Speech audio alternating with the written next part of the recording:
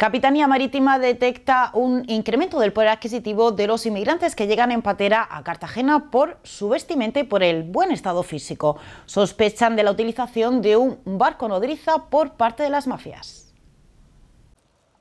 Cartagena sufrió el pasado año la mayor oleada de pateras de su historia. En noviembre, en tan solo 48 horas, fueron interceptadas cerca de 50 embarcaciones. Capitanía Marítima ha detectado un mayor poder adquisitivo de los inmigrantes que viajan a bordo.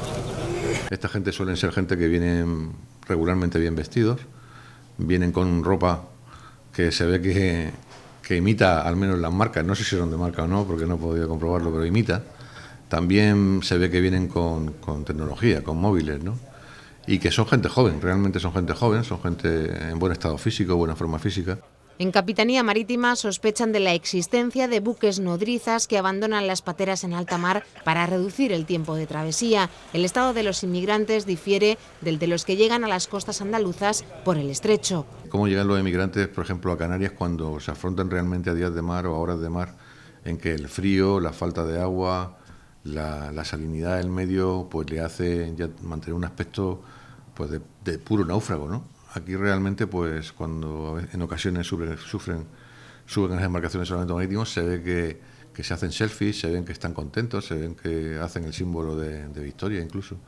Y eso indica que no ha habido un periodo de sufrimiento muy grande en la mar. ¿no? Cuando hacen grandes distancias, pues vienen con cantidades de agua importantes, cantidades de, de comida, incluso bebida, porque necesitan beber durante horas. O sea, a veces se han detectado estas pateras con poco combustible, con poca agua. Eh, desde luego no hay ninguna prueba científica que demuestre que haya un soporte desde tierra, pero sí que parece que los movimientos son, eh, son organizados. ¿no? No, no viene una patera sola, vienen, vienen grupos, son, se han detectado en oleadas oleadas que venían bastante coordinadas en el tiempo y en el espacio. ¿no? La oleada del pasado mes de noviembre fue coordinada, según suponen desde Capitanía, por mafias muy bien organizadas que llegan a cobrar hasta 3.000 euros a los inmigrantes. Lanzaban hasta cuatro pateras en intervalos de 15 minutos para colapsar los servicios de vigilancia y asistencia. Embarcaciones similares de 5 metros de eslora, pintadas de azul y presumiblemente elaboradas en el mismo astillero. Las medidas adoptadas por el Ministerio del Interior, trasladando a los inmigrantes a la cárcel de Archidona en Málaga para su posterior deportación, han frenado la entrada ilegal de inmigrantes a través de las costas de Cartagena. Probablemente la acción del, reciente del Gobierno de no tener un trámite de entrada-salida directa y tener que cumplir con la ley de extranjería, porque no olvidemos que no es más que una ley que, está aprobada por el Congreso y, que es de obligado cumplimiento, pues eso quizá eh, ha hecho de freno.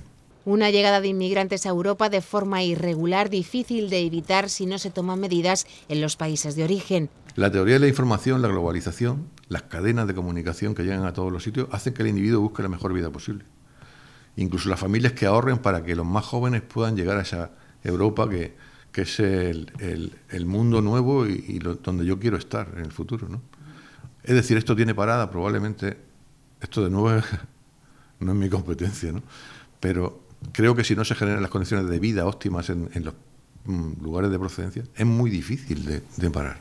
La alerta es continua y las medidas de vigilancia constantes. Varios organismos vigilan a diario las costas del Mediterráneo por cielo y mar para detener el tráfico ilegal de inmigrantes.